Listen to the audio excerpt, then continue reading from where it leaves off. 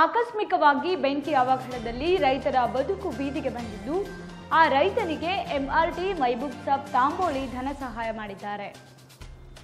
ವಿಜಯಪುರ ಜಿಲ್ಲೆಯ ಸಿಂದಗಿ ತಾಲೂಕಿನ ಕೋರಳಿ ಗ್ರಾಮದ ಖಾಜಿ ಸಾಬ್ ನದಾಫ್ ಎಂಬಾತನ ಮನೆ ಬೆಂಕಿ ತಗುಲಿ ಸಂಪೂರ್ಣ ಸುಟ್ಟು ಭಸ್ಮವಾಗಿತ್ತು. ಈ ವೇಳೆ ಚಿನ್ನಾಭರಣ, ಬೆಳ್ಳಿ, ದವಸ ಧಾನ್ಯಗಳು ಸೇರಿದಂತೆ ದಿನಬಳಕೆ ವಸ್ತುಗಳು ಸಂಪೂರ್ಣ ಸುಟ್ಟು ರೈತ ಕಂಗಾಲಾಗಿದ್ದ. ಅದಕ್ಕಾಗಿ ಗುತ್ತಿಗೆದಾರ ರಾಜಕಾರಣಿ ಎಂಆರ್ಟಿ, ಮೈಬೂಬ್ ಸಾಬ್, ತಾಂಬೋಳಿ ಸ್ಥಳಕ್ಕೆ ಭೇಟಿ ನೀಡಿ ವೈಯಕ್ತಿಕ ಇಪ್ಪತ್ತೈದು ಸಾವಿರ ಧನ ಸಹಾಯ ನೀಡಿ ಸಾಂತ್ವನ ಹೇಳಿದರು.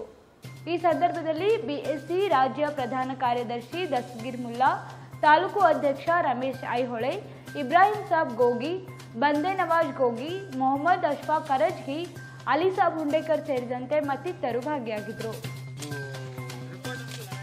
ರಿಪೋರ್ಟ್ ಪೊಲೀಸ್ ಸ್ಟೇಷನ್ ಕಳಿಸಿವಿ ತಲಾಟೆ ಕಡೆ ಕಳಿಸಿ ಮೊಬೈಲ್ ಕಳಿಸಿ ಏನಂತ ಈಗ ನಮ್ಮ ಇದ್ರಾಗ ಬರಂಗಿಲ್ಲ ಈಗ ಪರಿಹಾರ ಕೊಡೋಕೆ ಬರಂಗಿಲ್ಲ ಕಪಿಗದೆ ಅಂತ ಗಂಟೆ ಸುತ್ತಲೂ ಹಾಕಿತ್ತು कड़ी मेरी खुद की है घर बनते हो निकाल के ನಮ್ಮ घर ಬಂದಷ್ಟೇನೆ कपड़े कपड़े क्या चीज ले रहे हैं देख पच्चीस सौ दे तुझे ಅವರ अभी जास्त तहसीलदार को अब उन्हें इसमें क्या भी नहीं आता कर बोल रहे ತನನಾನೇ ತನ್ನೇ ನನ್ನೇ ದನ್ನೇ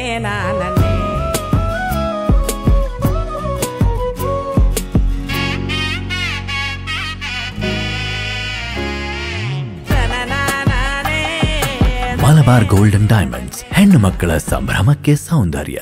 ನಿರಂತರ ಸುದ್ದಿಗೆ ಸಬ್ಸ್ಕ್ರೈಬ್ ಮಾಡಿ ಎಫ್ ನ್ಯೂಸ್ ಕನ್ನಡ ಹಾಗೂ ಬೆಲ್ ಐಕಾನ್ ಅನ್ನು ಒತ್ತಿ ನೋಟಿಫಿಕೇಶನ್ ಖಚಿತಪಡಿಸಿಕೊಳ್ಳಿ. ಧನ್ಯವಾದಗಳು.